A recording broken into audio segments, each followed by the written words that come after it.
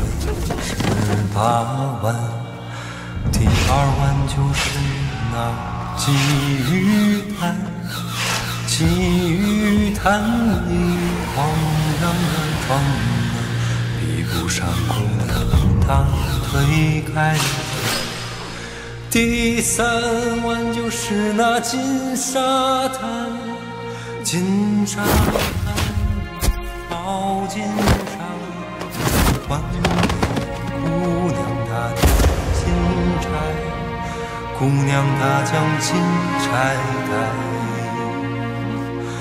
第四碗就是那明月潭，明月明月好似姑娘的脸，我路过姑娘家门前。老兰河水十八弯，第五弯就是那西湖滩。西湖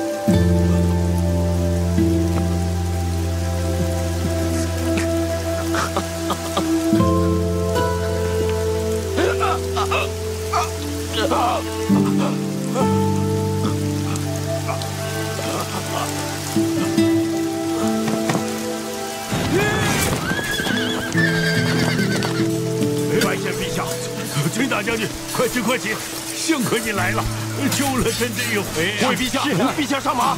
哎，崔崔大将军，你不你不能走。十七郎，十七郎，我来了，醒醒！我来了，你看看我，十七郎，生气了。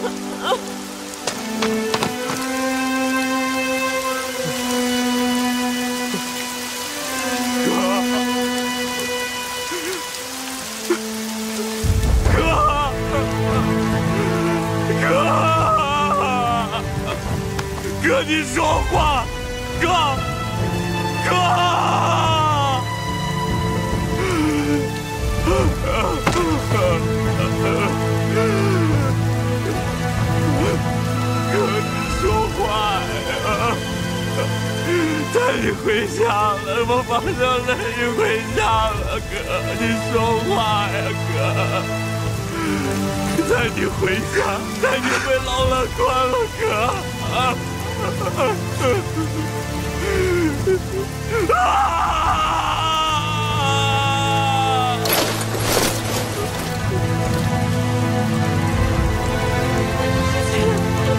十七郎，你醒醒！十七郎谢谢，谢谢了。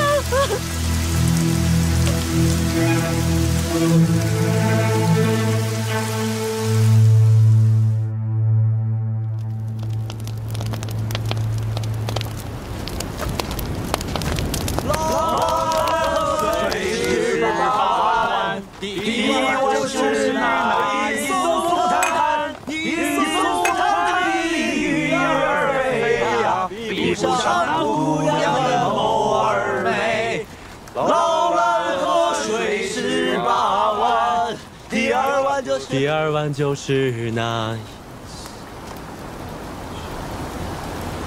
老兰河水十八弯，第一弯就是那银松滩，银松滩里鱼儿飞呀，比不上姑娘的眸儿美。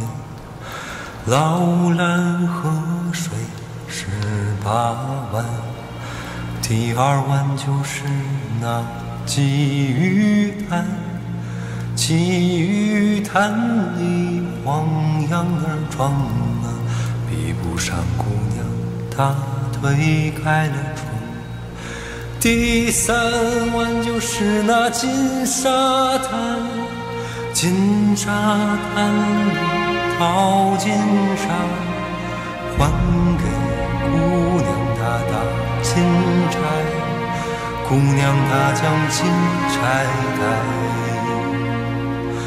第四碗就是那明月潭，明月潭里映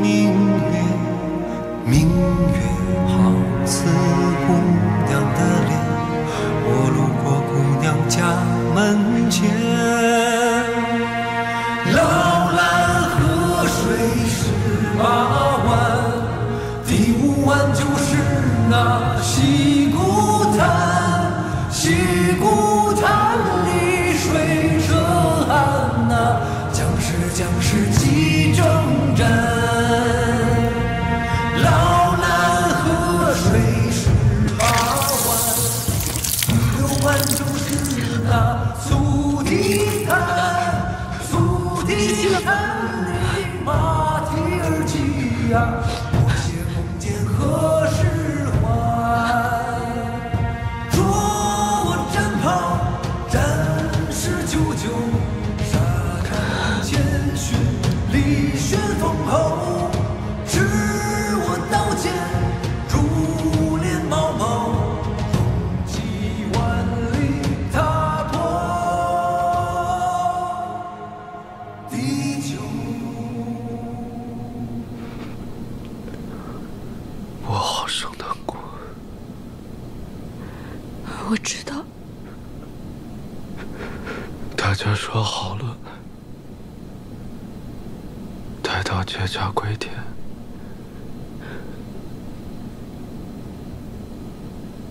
就回三里冢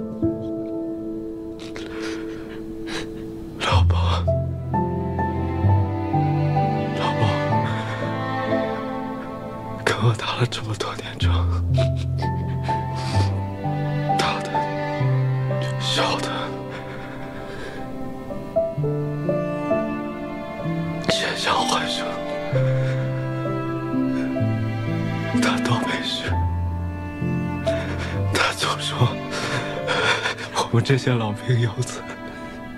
上天不恕，上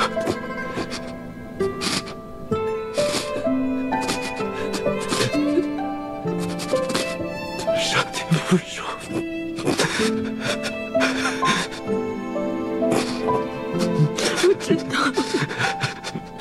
我知道我知道失去了。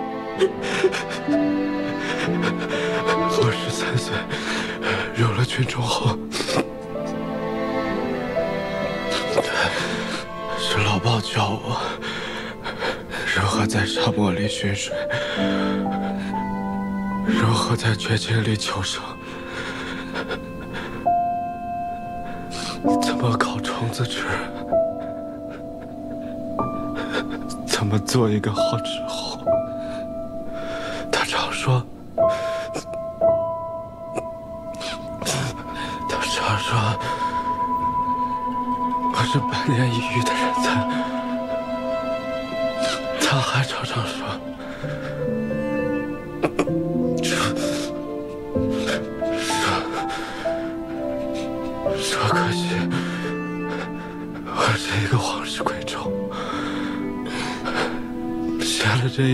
学了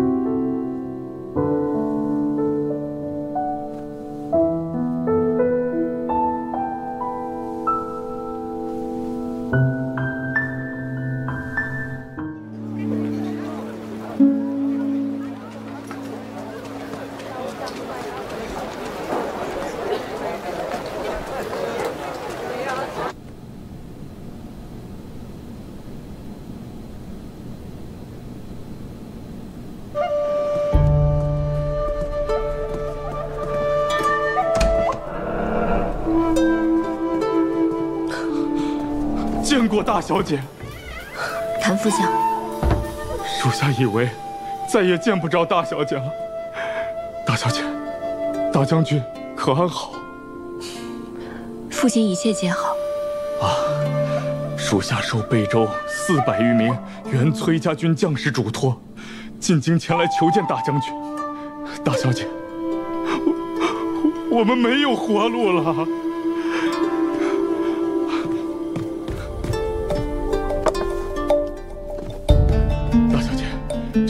四百六十七人的联名血书，请大小姐过目。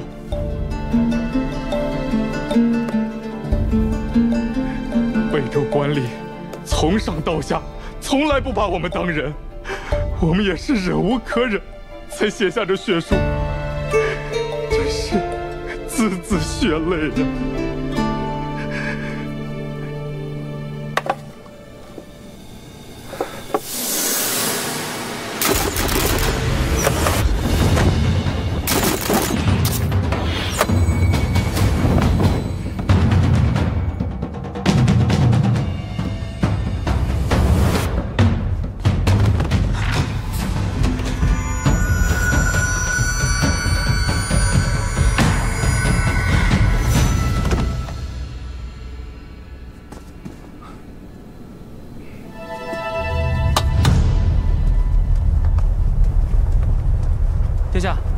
今天怎么那么早？是要回东宫吗？你不知道太子妃和桃子一起去凤英楼吃酒了吗？啊！我现在要赶紧把事务处置妥当，带你一起去凤英楼。桃子真是，她都没跟我说。走，我们去给他们一个惊喜。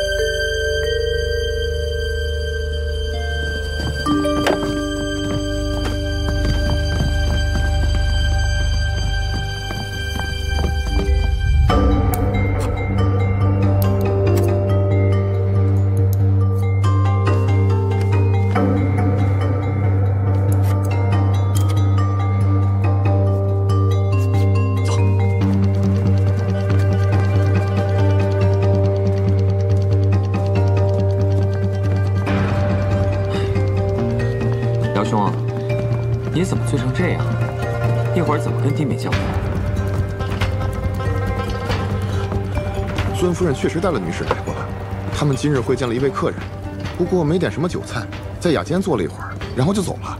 坐了一会儿就走了？是啊，也没坐多久，大概一炷香的功夫吧。我进去给他们添茶，就发现人已经走了，还在桌上留了赏钱。那是哪间房？带我去看看。好，我带您上去。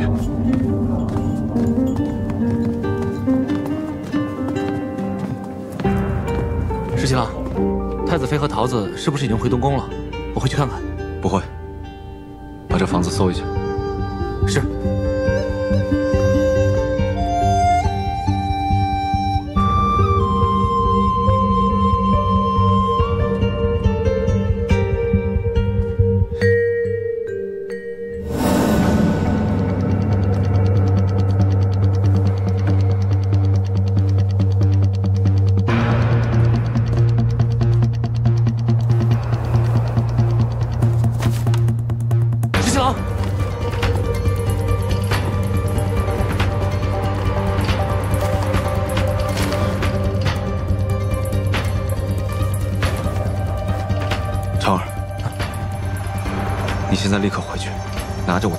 通知禁军，立时关闭西长京所有的城门，任何人不准出城，就算奉旨也不行。要雨林未来。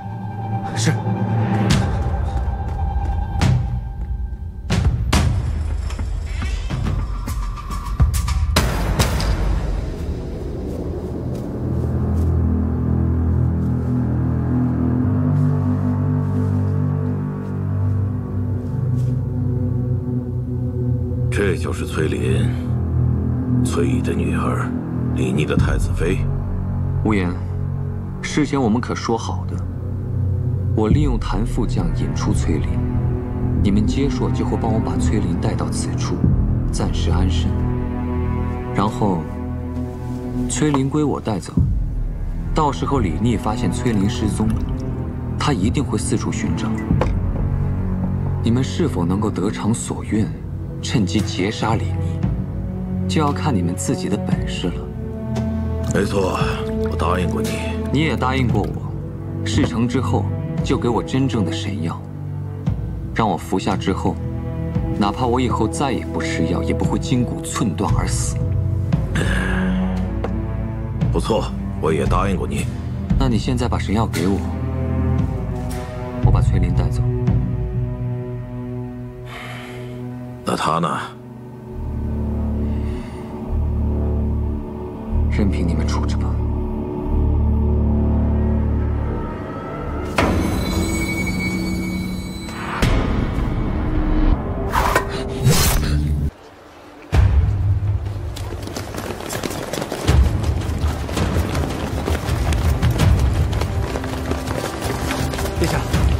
西长京所有城门皆已传令关闭。我带人往东，你带人往西，剩下的兵分两队往南往北，给我一寸地一寸地的搜。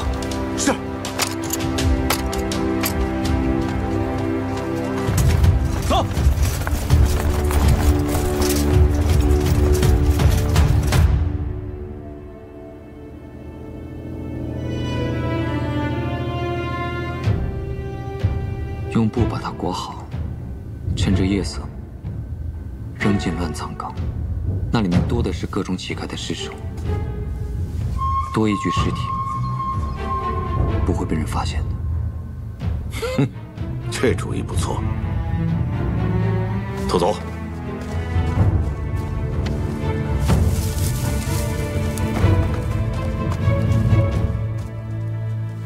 我的药呢？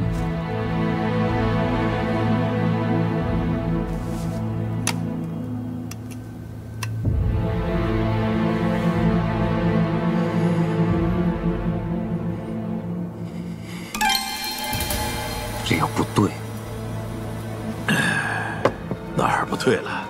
我之前在乌洛那里见过这种药，根本就不是这个样子的。既然你不肯好好上路，那就别怪我不客气。你想做什么？哼，我本来念你曾经是一条好狗，想要留你一个全尸，只怪你不肯好好的把那毒药给吃了。现在只好用别的法子送你上路了。你想杀我？为什么？你太贪婪了。你不过就是替我们结束卖命的，却屡次折损我们的精英。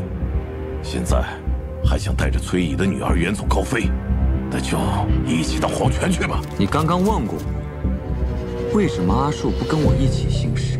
我跟你说，阿树去望风了。但其实，阿树根本就没有去望风。那又如何？他都不知道咱们这落脚的地方，还能来救你吗？但是他知道，顾相早就与孙静勾结的把柄，他也知道我是利用顾相陷害崔乙，解散崔家军。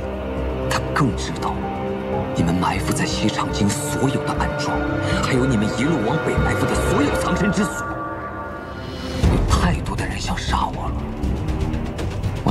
不能相信你们皆说人，对吧？阿叔在哪里？快说！把神药给我，让我带崔林走。陛下，太子令禁军关闭了西长江的所有城门。什么？太子还下令，说，即使有陛下您的旨意，任何人也不得出城。太子，这是要造反？陛下眼下得想想办法。太太子，此举确实突兀，反正突然如此行事，这这这说不通啊！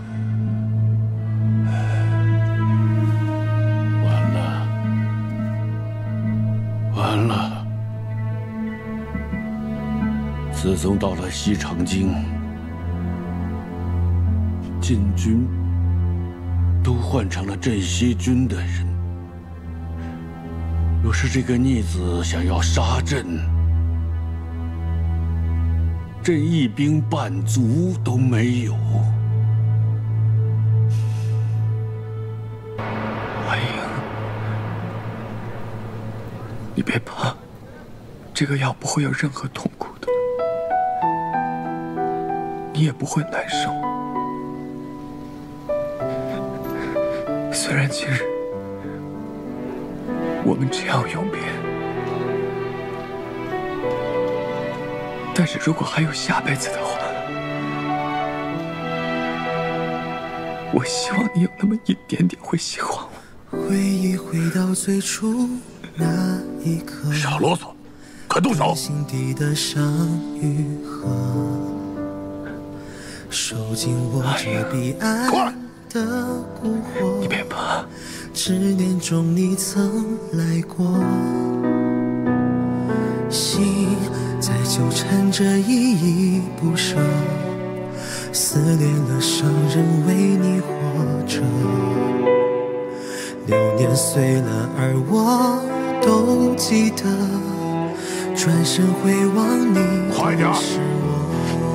有我呢。当一念难舍，难割舍。当我为你爱过，多想紧握着片刻的温热，多想此生只为你活着。当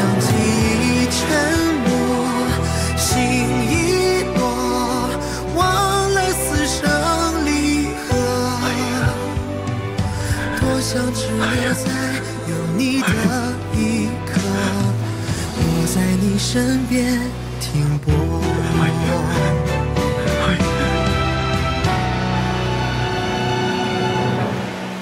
阿英，不要当怕。一念难舍，难割舍。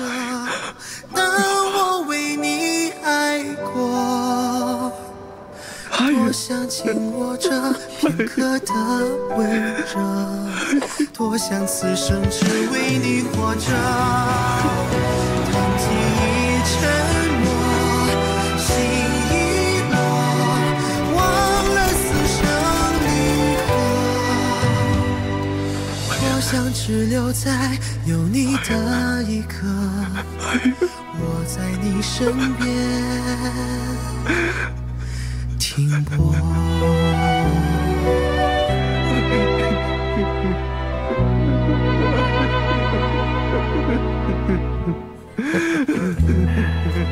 我就说嘛，这个药没有痛苦，死得很快。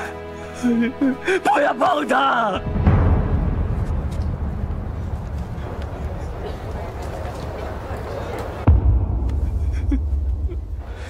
你们分头寻找，把这里再给我搜一遍。是是。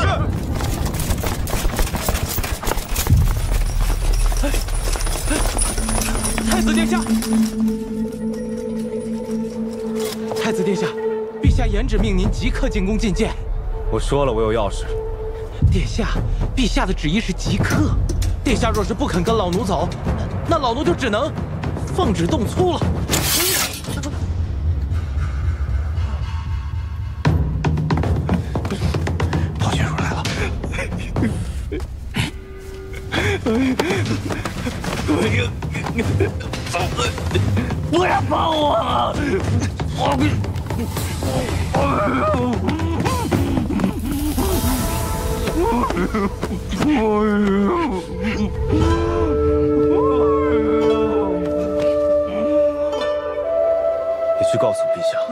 说你实在劝不动我，不然我就杀了你。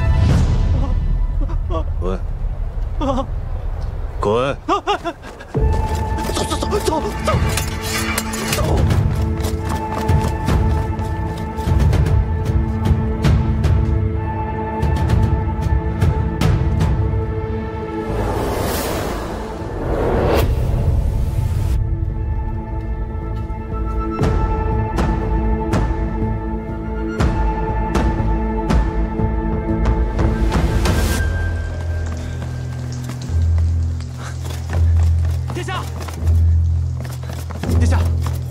搜索的人回来禀报说在义庄有一个样貌年轻的女子她相貌身形和我们要找的人都很像而且她身上有刀伤像接触的刀所致去义庄去义庄走。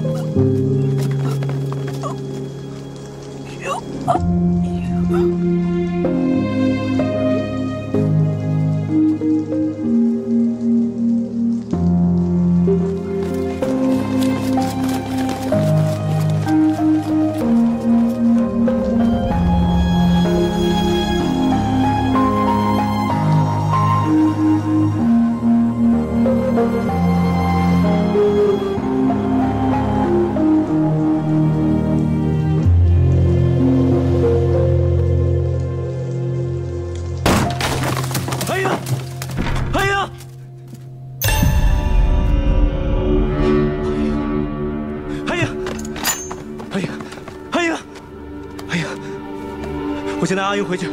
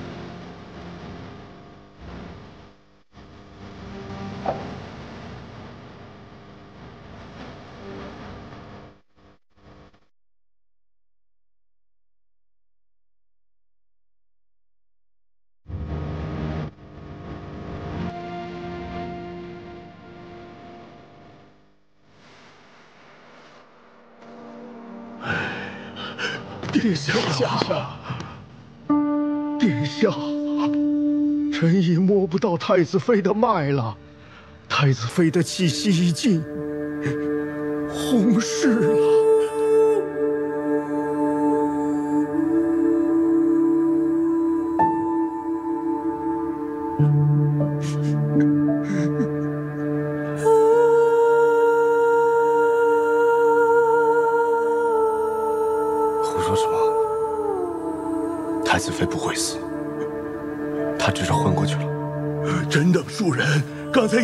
太子妃号过脉了，太子妃没有脉象了，太子妃红了，太子妃已经红了，殿下还请节哀呀！滚滚！救下他！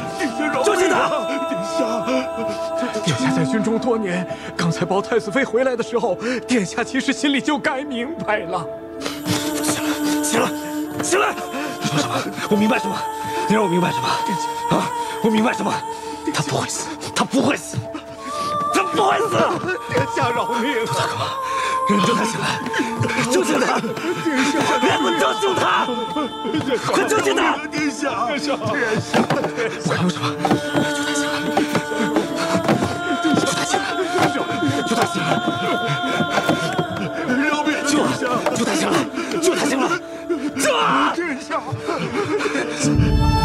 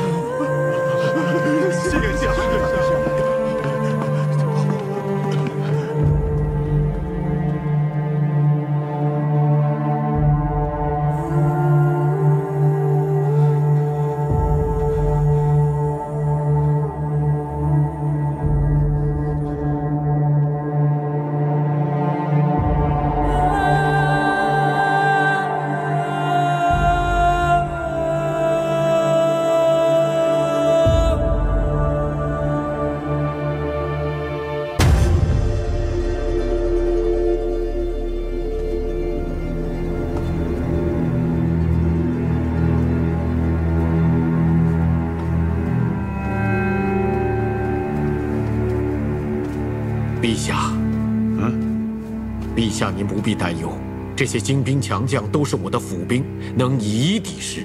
倘若太子真有意背你谋反的话，老臣就算拼了这条命不要，也要护得陛下周全。更何况还有蔡昭带兵守在宫门之口啊！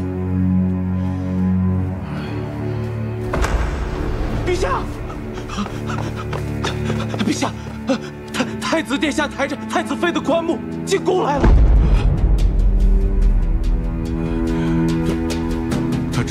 干什么？啊！陛下，太子执意不肯交出禁军兵符，这摆明了是要对陛下不利。陛下可以下一道旨意，命令蔡昭见到太子如果硬闯宫门的话，就格杀勿论。陛下万万不可！陛下万万不可！陛下只此一子，太子又没有犯什么大错，陛下还是召百官来商议一下吧。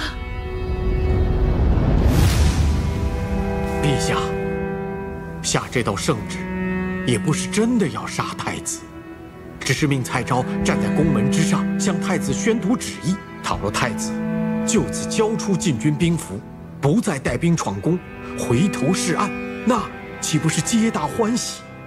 倘若太子听了圣旨，还是不肯交出兵符，硬闯宫门，那就是有谋逆之心，有弑父之意，其党羽也会对陛下不利。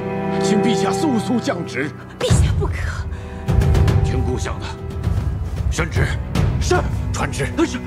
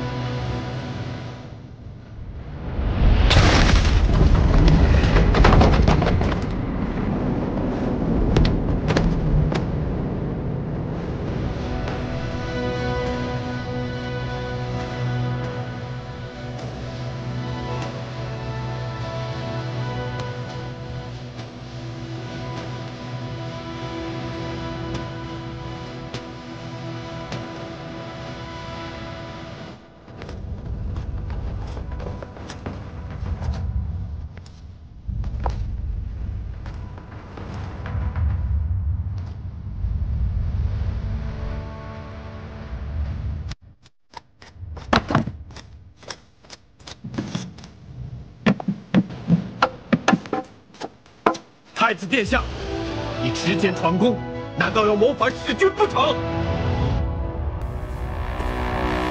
你里通接硕，胁迫父皇，枉我曾视你为文林领袖，以为你一身正气，没想到你早就与孙敬勾结，原来你才是这朝中最大的奸臣。一派胡言！你想弑君谋反，居然诬陷起忠臣来了！陛下，请您速速下旨，将太子拿下。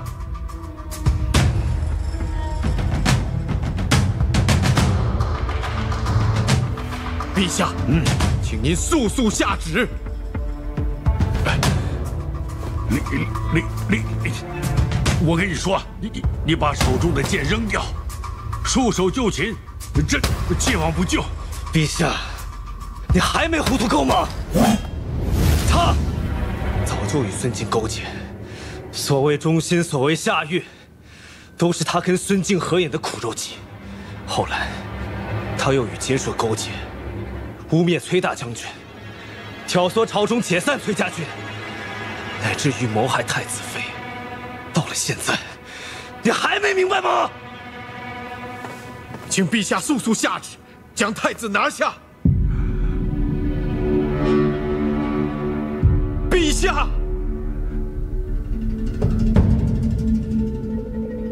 拿下！呀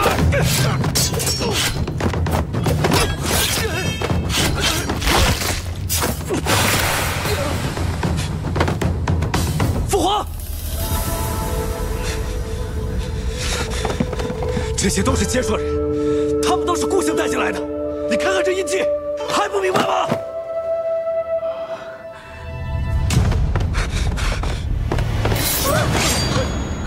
手，把剑放下！你放开陛下！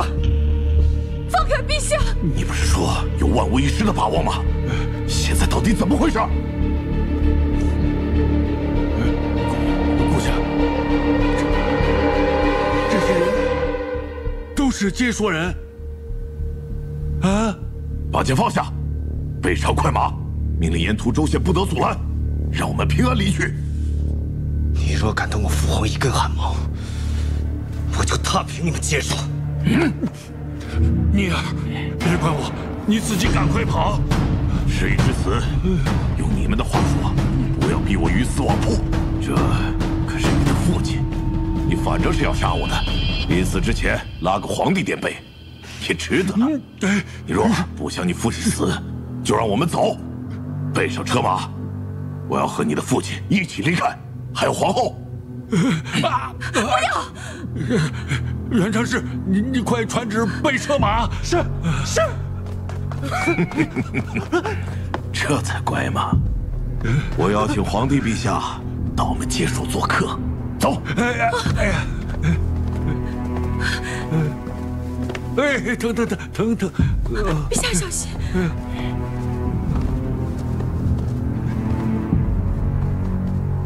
都退后！